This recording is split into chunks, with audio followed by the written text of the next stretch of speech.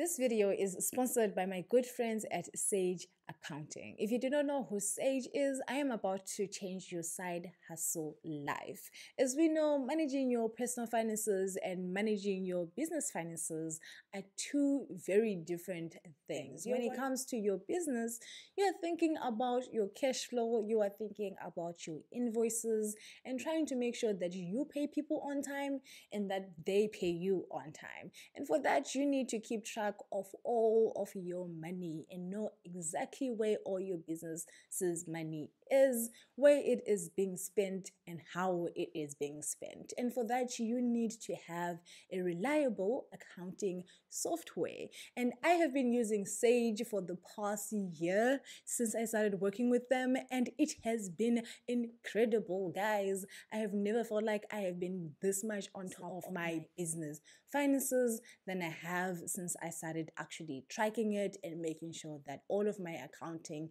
is sound. So I highly recommend that you guys check them out. And they've been so kind as to give us 30 days free when you sign up with the link in the description or when so, you sign up for a Sage Accounting use my affiliate referral code freedom and you will get your 30 days free but obviously the easiest way is to just click on the link in the description thank you so much guys and let's move on to this video. Thank you so much for joining me today. I am joined by a guest. His name is Frugal Local. He is famous not only for his coffee, but also for his businesses that he runs in tech. He also is a personal finance content creator and just an overall awesome dad, recent dad, by the way. So, congratulations to him. I'm really, really excited to have him today because we're going to be talking about all things business? How do you get to a point where you can take your side hustle from something that you do after your job to something that you can do full time? So, Frugal, would you mind introducing yourself to my beautiful audience? Hi, everybody, I'm Frugal. Oh, that's a little bit too frugal. Okay, let me expand a bit. So, um, I'm Frugal Local. Uh, I'm a content creator, and I've been writing about um, personal finance, property, and small businesses now for three years, uh, just over three years. And um, well, I've got a couple of businesses. I love having many small businesses, you know, because I think in personal finance and in small businesses, we need to diversify our risks. Yes, we want to specialize in some things, right? But we also need to make sure that if something does happen, that we're going to be okay. So, uh, I, like you've mentioned, uh, I'm the content creator. I also work uh, in software development. I do software development, de- development myself. I do IT project management. I'm a think tank partner, which means that if you have a business business idea, you get me in there, and I'll help you get your business off the ground. Um, because I think that there's a lot of people, you know, they focus on great business ideas and then they focus on um, people that have established businesses. And we see blog posts and content about that quite a lot. But what about those people that just need the start momentum. And that for me is very much where I focus my software development when it comes to minimum viable products and actually just helping those people that really just don't know how do I get the ball rolling. I think that's a question basically in every in every field, whether that is personal finance, whether that is business. People always want to know how do they actually start? Because starting is obviously the most overwhelming step, I think, because you don't necessarily know what's the first thing you should do. Um, speaking about not knowing what you should do, the reason I have Frugal Local joining us in today's video is I want to talk about his experience moving from a nine to five to being full a full-time employee. So maybe let's start with when you were running your business as a side hustle and why you decided that you wanted to take this full time. So, um, as the people on Twitter would know, um, and from some of my other platforms, um, I was in a, in a toxic work environment, and I don't say that lightly. Um, and what I did is um, I had a mental breakdown. I just could not take the abuse any longer. And I realized then that I'm going to have to get out. Now, I had this joke where I was saying I'm an entrepreneur in, a, um, in the body of, a, of an employee. And I had to get the inner entrepreneur out. So, what I did is I started uh, in that time, I started to actually build clients and build a business as in the form of a side hustle and something, you know, what do you call it, a side business. Um, and I grew the business in that year um, and get a plan in place so that in after a year I was able to resign my full-time job and then I'm working for myself now for well the last more than a year now. So um, but I believe look some people like jumping right?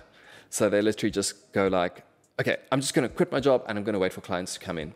I'm not quite like that I quite like the idea of stability, saying I have my clients and it's literally just a transition into the next phase, uh, which is I've got the clients already, I'm just leaving the one job and I'm continuing with the self employment one. That is the stage I want to chat about really quickly is the preparation stage. You had your side hustle, you realized that the work environment that you were in wasn't going to work for you. You had to do something else with your life, right? How did you prepare? What were those backup plans or for backup plans that you had? Okay, so um, a couple of things. The first thing is, I think, financially speaking. Now, I'm very interested in um, working well with your money. I mean, I'm not called frugal by chance, right? So this is very important. Is we need to um, plan financially. When you're doing a big jump like this, you need to make sure that you'd be able to survive it, right? And for many people, they say, listen, I'm going to try for three months or six months, and then I'm going to quit. Then I'm going to go and find a job again. For me, I had to make sure that I would be okay for the long term. Because in my line of work, business can be very difficult to come by. But as soon as you've got a contract, you've got it for a fairly lo- long amount of time. So quite a number of number of months, number of years. So I had to make sure that in case it goes a little bit quiet in the beginning, that I'd be able to be okay. So I had um, three three years worth of expenses saved up by the time that I resigned.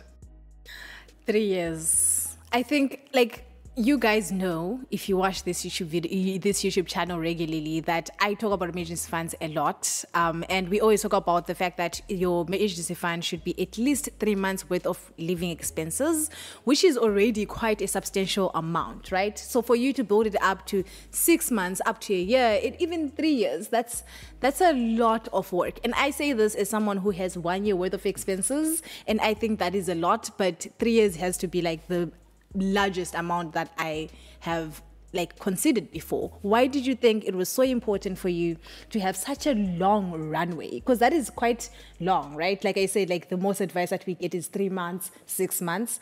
Why was it so important for you to have such a huge emergency fund you see, you see, the thing is, if you are employed, it's very different from when you're self-employed or you are an entrepreneur. Um, you don't know how quickly you're going to find a new client, and it's a little bit simpler, quite often, in many, for many people, to find a new job than it is to find a new client. So it's not easy, and um, I quite I mention I mention it quite often that not everybody should be an entrepreneur. I mean, it is difficult, and if somebody wants to be an employee, that's hundred percent fine. It's good. Uh, we need employees as well, but we also need entrepreneurs. And for me, I had to make sure that I'm going to be okay. Um, as I've mentioned as well, that in my industry, it can take quite a long time to get a big contract. So for me, I had to make very, very sure that I was going to be okay in case something would happen. So that's how you prepared financially, right? But how did you prepare your business? So I think this is the other thing is a lot of times people just quit and they go like, now I'm going to start finding clients. And, and this is not quite the way that I work, and I don't recommend people doing that. So, there's a couple of ways that people do. The first one, which I have done, was that uh, in a previous case, was I quit my job because I had a business partner came along and he said, "Listen, let's do business together," and that didn't quite work out because I was sort of joining his business as a business partner, but he didn't have any of the things that he promised. The next one is that you run two jobs as a side hustle. You've got your business that you want to take full time um, and then you've got your full time job. So I was literally working full time and I was working close to 18 hour days, 16, uh, 18 hour days by times. So I'd literally go from the one job to the next one, um, you know, from my full time job to my side hustle. Um, weekends, yes, I was working weekends as well. I was working very, very hard. So um, I think with regards to that, um, there was a lot of preparation in actually finding, so sourcing the clients firstly, secondly, keeping those clients, um, delivering on those clients' needs. And at the time of resigning, I was able to say, listen, I've already have the clients. And now what I'm doing is I'm just transitioning, uh, you know, keeping the continuity with that one uh, business and the other one, which is the employment. I told them, see you bye bye. I've never really thought about that. Like, I only think about the financial aspect when I think about building a runway, but I think you bring a really important aspect of how many clients do you have? What is the period that you're going to be working with them for? So that's a really in- interesting aspect. And outside of that, is there anything else that you, you did to prepare for your jump? I think, let's, I think let's take a step back here and we let, let's talk about the sales pipeline or the, the pipeline, which I like to call it. So a pipeline is very much, you've got things going in on the one end, and on the other end, you've got things going out. So I pop in clients on this side, and I know that my pipeline might take six months before I get a sale. Okay, so I know I need to get clients in right now, and in six months' time, I'm going to get money, you know clients and money coming in. That's actually going to convert from an initial contact to a sale. But if we don't keep that going, if we don't keep that going, so okay, I'm going to keep on popping clients in this side, and I know that uh, out of the amount of clients that I'm popping in this side, I'm going to have um, this amount of clients that's actually going to generate money for me on that side, then it's not going to work. So there's a lot of considerations working for yourself or being an entrepreneur.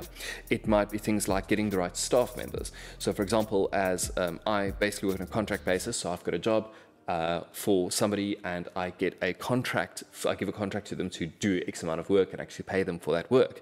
So you need to get the right staff members or people that you're going to outsource to all know that you've got the skill to do that. If you don't, in that time before you quit your job, you already need to have that um, you need to get the education that you need so that you can do that. Then, as I've mentioned, client acquisition, you need to have a strategy on getting clients in, which I call the pipeline. Then, um, you also need to handle all uh, BDSM, business development, sales, and marketing. You also need to handle um, accounting. So you need to make sure that you invoice because if you don't invoice, you don't get paid. Um, I don't know if you knew that, but like sort of, you know, you need to invoice people to get money. So um, there's a lot of moving parts in a business that you need to, to do and to get in place, uh, you know, be able to do, like pricing and costing. Like, how much do you charge for an on site meeting with a client versus an online meeting with a client? Um, because uh, sometimes you have to meet with other with a client's clients. So you need to start thinking um, as these things start happening. How do you cost? How do you price? How you know what is your marketing plan? Um, like all of those things. So all things you need to be thinking about while you're preparing to leave your job. Absolutely. Right. That's a that's a that's a those are a lot of things to to consider and things to learn and prepare. Right. So obviously that takes time. How long did it take you to prepare for your exit? So I should have left within one year, and I left within one year and two months. So, but you need to remember as well is that like I've always enjoyed reading up on these things, on entrepreneurship, on small businesses, and um, it can take you a lot less if you've got the client. Some people have a natural ability to find clients. Uh, for some odd reasons, client, clients find me, which I love. Uh, um, I think that's the perfect situation, right? Absolutely. I mean, because obvious, uh, uh, quite often people go and they're like advertise and spend a lot of money on advertising, but it's just not who they are. But uh, like for me, I put my content out there, I write things, and the clients then find me, which, like I said, for me, perfect. Um, I think we've covered everything in terms of preparing. Is there anything else, any nugget that you might have missed there in terms of how you prepared to leave your job? You're going to work hard. You're going to work very, very hard. And I think the, the biggest nugget that I can give people is you remember your bank account in personal finance, right? tells you a story of what is important in your life. And in the same way, when you go and you look for, you want to start your own business, how you spend your time and how you learn and how you grow shows if it really is important. So if you go and you focus on growing your own business, your side hustle, it shows. And then the end is that you're going to get is actually self employment or being an entrepreneur and being able to quit your job. Yeah, I like the fact that you pointed that out because I don't think a lot of people realize just how much hard work and like resilience it takes to build a business. Um, because when we talk about like personal finance and financial independence, a lot of people are under the impression that if you want to achieve those things and build wealth, you have to start a business because that's the only way you really make money. But it really isn't that isn't the case there's a lot of different other ways that you can actually make money without being an entrepreneur you have to make sure that entrepreneurship is something that you actually want like you said it is a lot of work it was a lot of work when you were preparing but i'm assuming that it's definitely more work now that you're actually in full-time entrepreneurship? Well, in, in crunch time, definitely, it's hard work. When I resigned, I was like, okay, now I've got so much capacity. Um, but, I mean, I was still actually getting, you know, fair amount of money in. Um, I think the thing, the, the art of this is that you need to manage your time well, and you need to manage your time um, meticulously, almost, I want to say. Whether it's time that you have crunch time and you need to work really hard, and whether it's time that you need to rest. You do need to keep that balance because if you don't rest, then you won't be performing optimally. No, definitely. I, understand, I, I can totally understand that. I cannot function without sleep. Um, and now I just want to like touch on like one of the biggest differences for me when between like um, between being an employee and being self-employed is the paying yourself part, right? Because like when you're an employee, you get paid, your pay slip comes and they tell you how much tax they've took off, they've contributed this to your retirement annuity, they've done this and that for your medical aid, right? Like all of these things are kind of like sorted for you, right? You don't necessarily have to think about them as much as you have to as an entrepreneur. So like how has been that how has that shift been in figuring out how much to pay yourself? as well as your taxes, retirement annuities, um, medical aid. How are you handling that as an entrepreneur now? So you need to remember that if you don't invoice, you don't get paid. That's very important. It's as simple as that. So again, with a pipeline, what you're looking at is you're saying I'm putting clients in on this side, and I know that I'm going to get money out on that side at this time over this um, time spectrum. Um, but keeping track of who you need to invoice, when you need to invoice them, and how much is still due to you, and when you will get that is very important. Now, personally, I split my business. So my um, company is Effectify Pty Limited, and then my um, the my personal life I split that with my personal expenses. So as I get money coming into Effectify, that goes to me. You know, money, the money that I need comes to me. Um, and I find that split very important because as soon as I need to now go and um, you know, I've got a great accounting system, and an accounting system, when I give my um, my tax person access to it. She can then pull reports from that. She can get everything she needs, um, you know, scanning in receipts so that I know that I've got all the things. Um, but I think automating the stuff as much as you can, so recurring invoices, um, not having to spend time in Excel because that can be a really big nightmare. Ask me. so you know, like typing out everything, just saying, listen, I've this invoice, send it out every month for the next year, and I know that it'll just send it out, and as it comes in. Um, you just need to recon it. Yeah. Yeah. So, so, like having a great accounting software is big as a, as a full time entrepreneur, and just having a tax person. You mentioned having a. Absolutely, it's very important having a good tax person um, that understands. Uh, like you get different types, and um, it's really worth when your business starts growing, um, or you having um, you know different income and different ways of handling things, especially in accrual accounting. Um, you know, I'm more on a cash flow accounting base, but especially when it gets a bit more complicated, you need somebody to be able to help you to say, this is the way that you need to structure it. This is the way you need to work with it. Because obviously you want to legally pay as little tax as possible.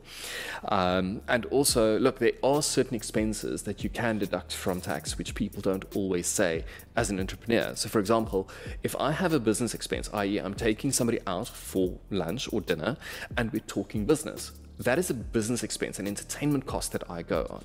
You know, we're talking, for example, uh, whether it's frugal with, um, you know, cr- uh, content creation and sponsored posts, um, connecting with those people, those I can deduct from tax legally because it's making me money. And especially when I'm driving to clients, I'm deducting my petrol from you know from my clients. So it's so important that you've got a good tax person that can explain these things to you and tell you what you can and cannot deduct because we want to be honest. We want to do the right thing. And pay as little as possible while doing so. Legally. legally. That is the key word there, legally. Um, I like that you, you spoke about like receipts and just keeping a record of everything, right? Which ties back to the accounting software that we spoke about again. And I think for me as a side hustle, I have I use accounting software, and I think it's it's been so crucial in my business in managing the money and where everything is at. And I'm assuming as an, a full time entrepreneur with more business coming in and a lot more time that you're spending there, it even it's an even bigger asset for you. Look, I mean, um, I think what happens with many people is some people, when they start out, I mean, I started out and my invoices was done in Photoshop. I know people are twitching. Not even Excel, not even Excel. I did in Photoshop at the time. Um, but the problem with that is, is that as soon as your business grows to a certain point, you can't do that anymore. So, and it's okay to do that in the beginning. It's okay to do it in Excel in the beginning, but there's a point that you're going to reach that you need an accounting software, piece of accounting software, um, especially when you've got lots of receipts, you've got people you need to pay. Uh, sometimes it's even when you start hiring people and you've got payroll, when it is you have, uh, you know, stock management, inventory, and you've got all of these things that you need to manage, and you've got payment terms such as 60 or 90 day payment terms, and managing all of that on an Excel spreadsheet or in Photoshop is really. It'll make you pull your hair out. And it's, it's just worth just getting something decent to help you. Exactly, exactly. That's why I use Sage. By the way, guys, obviously, this video is sponsored by Sage. I've been working with them for months now, so y'all should all know that we work with Sage on this channel. but I think that like it makes their software just makes it so simple to manage everything and be and be able to set up like especially the recurring invoices. I find them very valuable because you don't have to remember that oh I need to invoice this person now. Oh that invoice is late. They actually notify you of things like that, and I think that's just awesome. I'll also just leave it like a link to Sage in the description as well. So check it out. Also, maybe in the first comment, I don't know, guys, check out the description. You'll find the link to Sage. Um, but yeah, and then like we've spoken about like managing your money now as a full-time entrepreneur and i'm sure there's a lot of lessons that you've learned on this journey. It's two years almost two years of you doing this right? So there's obviously a lot of lessons that you've learned and i just want you to give us maybe a couple that you can share with my audience in terms of something that you learned that you're not necessarily aware of when you started that you wish you, you knew before. Find is that many employees um, when they do side hustles they tend to undercharge like I was undercharging, and I believe that if you're doing the work, you should be getting the money. Okay, so in the same way with me, now that I'm self-employed, uh, I basically, if I'm spending time on it, I should get money for it. Okay, but also the value added part of that. So, for example, if this thing, the solution which I worked three weeks on, is worth exponentially more than my time, I negotiate with the clients. Okay, this is the price. I am worth the money that I get. And I can negotiate the terms of that. And the very important thing why I'm saying that is that certain clients I've told I'm not interested in their business. And I've said in a very nice way that they, I say things like, um, you know, my business goals are not aligning with yours, so it wouldn't be fair for me to take this job on. Um, and it's okay to say no. It's very important to say no. And that's the one thing that I've learned. The other thing that I've learned is that your business needs to evolve with you. So, so, this is the thing: is that you need to put one foot in front of the other, right? Um, and yes, I shall say that working for yourself is freedom. Um, sorry, I just had to put that out there. But uh, I find that you know your business needs to grow with you, and it's so important that you start optimizing your business one step at a time going forward. And as you refine who you are and what your business does, you know what you know what clients is that you're looking for. So it's very important to keep on refining so that you can find your ideal client, so that you know what you're offering, so that you can give the clients the best service. There's so much, and I, I, like the fact that, like, on your blog, you you specifically talk about business. You have a whole section on business. So, if people want to learn about small businesses, running their small businesses in a lean way, I think that is something that you're also really passionate about: is running your business as effectively as possible with the minimum uh, products that you have or resources that you have. So definitely check out Frugal Local's blog. Where do we find your blog? Localmoney.co.za. And if you're really lazy, you can go to frugallocal.co.za, which will redirect you there. You can also follow Frugal Local on Twitter. I will leave his handles in the description as well. But like I said, guys, he is on this journey. He started with his businesses as a side hustle. Now it's a full time business, and I cannot wait to see what comes down the line in the coming year, in the coming five years, because I think there's only bigger and better things to come from. Absolutely. I think, remember, I think this, these are very small steps to freedom that we take. Please leave a comment down below. Let Fro know that his information is just so valuable. Um, but I don't want to take too much of your time, Frugal. It has been a long day. So I'm going to end our video here and hopefully I can have you join us once again. Definitely. I would love to chat to you again. Awesome. Thank you so much, guys. And please remember, like, subscribe. Dislike if you didn't like the video, it's still engagement. Anyway, thank you so much, guys. And I will see you in my next video next week. Bye. Bye bye. Yeah.